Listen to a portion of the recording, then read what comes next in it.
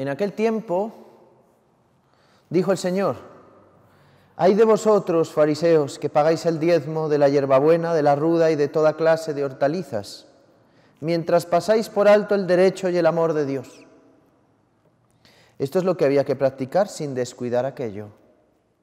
Hay de vosotros, fariseos, que os encantan los asientos de honor en las sinagogas y los saludos en las plazas. Hay de vosotros que sois como tumbas no señaladas, que la gente pisa sin saberlo.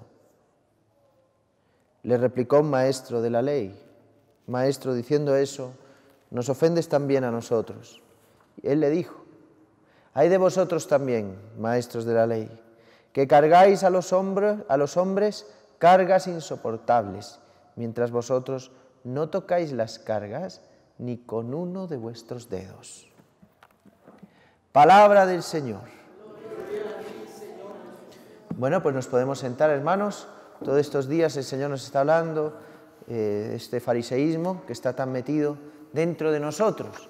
Hoy habla a los fariseos y a los maestros de la ley. Es diferente, ¿no? El fariseísmo era una secta dentro de los judíos, una secta que buscaba, eh, en el fondo, cumplir la ley y de esta manera eh, eran los mayores practicantes de la ley, los fariseos, y creyendo que de esta manera pues daban culto a Dios y era suficiente para salvarse, digamos. ¿no? Este es el fariseísmo, que está metido en nosotros. Siempre digo lo mismo y es así, es así. Hoy hay fariseos católicos, fariseos católicos, fariseos cristianos, que creyendo que porque venimos a misa, porque rezamos muchas cosas, porque hacemos tanta situación y no sé qué haces tú, no sé qué estás haciendo, hoy de pronto por creer que haces obras de caridad, ayunos, eh, limosnas y demás, crees que, crees que tienes fe. Y puede que seamos, como dice el Señor, tumbas, dice que sois tumbas no señaladas. Cuando uno va por un cementerio y ve una tumba, pues evita pisarla, ¿no? la rodea. Pero si uno no sabe que está ahí la tumba, pues la pisa, pues sin saber. Así somos los fariseos. Tumbas no señaladas, que la gente pisa sin saberlo. Quiere decir, una tumba, hermanos, es muy bonita por fuera, pero por dentro hay podredumbre. Por dentro, ya nos lo decía en estos días el Señor, hay rapiña y maldad. Nos lo decía ayer, de hecho tanto que nos preocupamos nosotros por lo de fuera, por aparentar, que los demás vean que hacemos oraciones estupendas, que los demás vean que vamos a misa, que los demás vean que llevamos el rosario por fuera. A mí esa gente que lleva cosas por fuera, no sé. Yo conozco a uno que se llama el obispo, que es el que lleva la cruz por fuera, el pectoral. El obispo, no más. ¿eh? Cruces, medallas y cosas y de todo, y que se vea, y que se vea, y que se vea. Y por dentro, viviendo en unión libre, tratando mal al, otro, robando en el trabajo, pero eso sí, con una medalla así de grande de la Virgen María. O con un rosario colgando que se vea que yo soy súper católico. Que los cristianos vean que yo soy católico. Pero el fariseísmo, el fariseísmo, ¿no? El fariseísmo. Lleva por dentro la fe, lleva por dentro.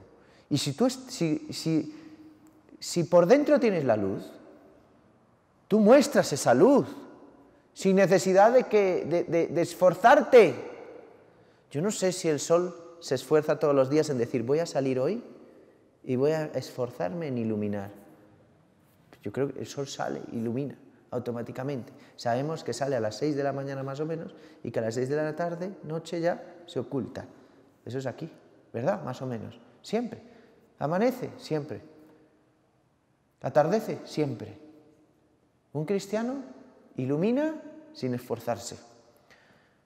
Por eso, hermanos, por eso, esta palabra es para nosotros hoy seriamente y también para los maestros de la ley, porque al final los maestros de la ley dicen, Señor, esto lo dices también, nos estás ofendiendo, y ¡ting! que les da duro también a ellos.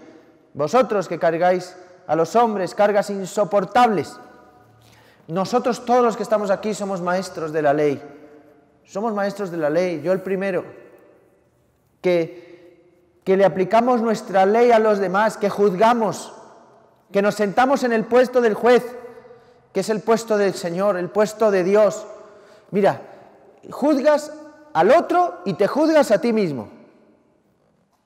Y tantas veces el juicio contra el otro es, tiene que morir. Y contra ti es, no, no, yo tengo justificación, porque, porque, porque mira la mujer que tengo, porque mira el esposo que tengo, porque mira la vida que me ha tocado, porque mira que soy pobre, porque mira al jefe. Lo tuyo tiene justificación, siempre. Fíjate, a ti te justifica siempre, pero al otro nunca le justificas. El otro nunca. Por eso dice el Señor, ¿veis la paja que tiene el otro, la mota que tiene el otro en el ojo y no ves la viga que tienes tú? Nosotros pasamos la viga por alto. No pasa nada, no pasa nada. Es que, ah, no pasa nada por hacer lo que estoy haciendo. No pasa nada por, por no pagar los impuestos. Total, ¿se los van a robar allá? Pues prefiero, me los robo yo. No pasa nada, y justificamos, y justificamos nuestros robos, justificamos nuestros adulterios, justificamos todo. Lo dice hoy San Pablo en la primera lectura. Hermanitos, aquí o eres del espíritu o eres de la carne. No hay un término medio. Ah, no, yo más o menos ahí. No. Si eres de la carne, las obras ya sabes cuáles son. ¿Fornicas? ¿Eres impuro? ¿Eres libertino? ¿Idólatra? ¿Te le mides a la hechicería, a la santería, a las supersticiones, a que te lean el no sé qué, a que te miren el no sé cuánto. Enemistades, ¿tienes enemigos? Discordias, envidias, cóleras, ambiciones, ¿eres ambicioso? ¿O te conformas con lo que tienes? Divisiones, ¿estás dividido hoy con alguien? Todo esto son obras de la carne, que si está, basta que haya una en ti, tú no tienes el espíritu disensiones, rivalidades, borracheras. ¿Te emborrachas? ¿Te emborrachas? Orgías. No miro a nadie. Y cosas por el estilo. Y ahora vamos a ver las obras del Espíritu, que son buenas también. Amor. Hombre, sí, padre, yo amo mucho a mi hijo. No, tú idolatras a tu hijo. Estás en la carne. Idolatría amor, alegría. ¿Eres alegre? Paz. ¿Tienes paz en tu vida? Paciencia, afabilidad, bondad, lealtad, modestia, que es la humildad, dominio de sí. ¿Tú, tú tienes dominio de ti. Estas son las obras del Espíritu. Entonces nos puede pasar como los maestros de la ley, predicamos, predicamos, le metemos a los demás y hacemos ver que nosotros tenemos las obras del Espíritu, el fruto del Espíritu, que nosotros somos espirituales totalmente, mejor dicho, nos faltan unas alitas para salir volando hasta el cielo. Y algunos creen que seguro que las tienen las alitas. Y resulta que lo que hay es carne.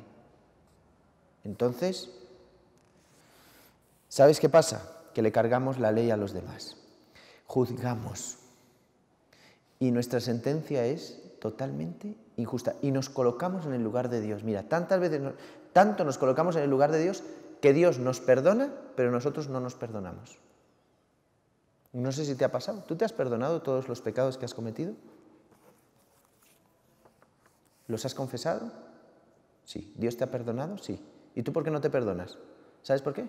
Porque tú eres Dios. Estás por encima de Dios. Dios te ha perdonado, pero tú no te perdonas, tú estás por encima de Dios. Eres más que Dios, más. ¿Te, has dado cuenta? Que tantas veces nos pasa que no nos perdonamos un pecado. Esto sucede mucho, hermanos, cuando, cuando hemos cometido un pecado muy grave y somos muy, muy, muy escrupulosos, muy maestros de la ley. Y te das cuenta que lo que juzgabas en el otro lo haces tú también. Y el Espíritu Santo te hace ver esto te escandalizas de ti mismo y no te perdonas. No te perdonas. Y vuelves y, ¿sabes cuándo se da cuenta uno? Cuando siempre confiesas el mismo pecado que ya te ha sido perdonado. Esto pues, lo veo mucho yo en las mujeres cuando han abortado. Padre, es que cometí cinco abortos, pero ¿cuándo los cometiste? Hace 20 años. ¿Ya te confesaste? Sí. ¿Te perdonaron los pecados? Sí. ¿El cura te dijo que te absolvía? Sí. Pues no me cuentes a mí, porque eso ya está perdonado. pero no se siente perdonada. ¿Por qué? Porque se pone en lugar de Dios, porque somos maestros de la ley. Gracias a Dios, hermanos, Dios no es como nosotros, Dios no es implacable, Dios es misericordia, Dios es amor. Dios comprende nuestras caídas. Dios no es un maestro de la ley, Dios es un maestro del amor. Dios es el maestro de la misericordia.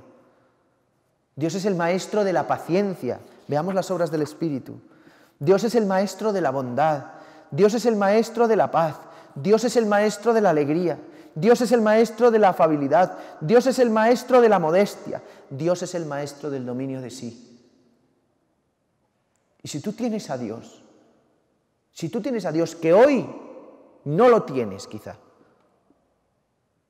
porque no está esto dentro de ti, porque si tú tienes a Dios dentro de ti, tú vives esto y te gozas la vida. Y con esto acabo, hermanos. Un cristiano se goza la vida, pero mucho más que cualquier otro. Se la goza, se la disfruta, la gasta amando. Y amar, amar es disfrutarse la vida. Fíjate un momento los momentos de infierno en tu vida. ¿Por qué han sido? Y te doy la respuesta yo. Por no amar. Por amarte a ti mismo han sido los momentos de infierno en tu vida, por amarte a ti mismo, por no amar. ¿Y los momentos de cielo? ¿Has experimentado el cielo en la vida? Pues ese momento seguro que ha sido porque has podido amar y perdonar. No hay mayor cielo que perdonar, hermanos. No hay mayor cielo que estar unido a la cruz de Cristo. Que así sea, hermanos.